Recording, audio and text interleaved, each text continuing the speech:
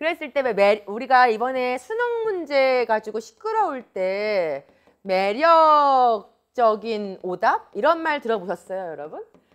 이거를 이제 잘 모르시는 분들은 말장난하냐, 매력적인 오답이라는 말이 어디 있느냐라고 엄청나게 막 분노하시고 막 그랬는데 그냥 어려운 문제라고 하면 되는데 굳이 이런 것들을 매력적인 오답이라고 얘기할 필요가 있느냐라고 시험에 신문지상에서 한참 떠들었던 기억이 나는데 이런 말이 실제 있어요.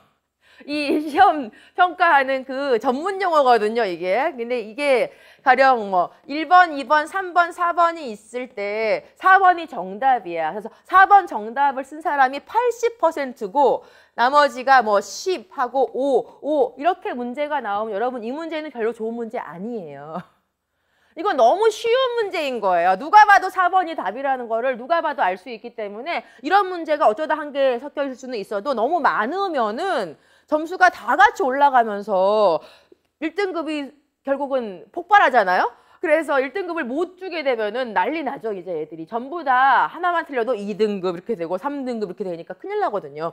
그래서 어느 정도 이 퍼센테이지가 적절히 분배되게끔 해야 돼요. 그랬을 때 가령 1번은 뭐 30이고 2번이 20이고 벌써 50 썼죠.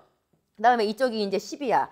그러면 남은 게 몇이야? 40이잖아요. 그러면 40이 정답이라는 거잖아요. 근데 여기 있는 30도 만만치 않게 정답스러운 거예요. 그래서 애들이 1인지 4인지 이네 두 개는 아닌 거 알겠어. 1인지 4인지 모르겠어. 아, 어떡하지 어떡하지 하다가 제대로 공부한 친구는 4를 고르겠죠. 근데 그 마지막 순간까지도 1에 대해서 매력을 느낀다는 말이에요. 이런 게 매력적인 오답이라고 하는 거거든요. 그래서 그 출제가 너무 어렵게 되었다라고 하는 거하고는 사실 관련이 없는 말인데 그 이 말을 내놓은 기관 쪽에서 갑자기 왜 이런 말을 했는지 모르겠으나 일반 언중들은 또 이 말이 뭔지를 모르기 때문에 말장난한다고 엄청 또 욕을 먹었죠 그 당시에. 저 보면서 제가 좀 안타까웠어요. 하필이면 저 용어를 써가지고 저러냐 가만히나 있지 싶었습니다.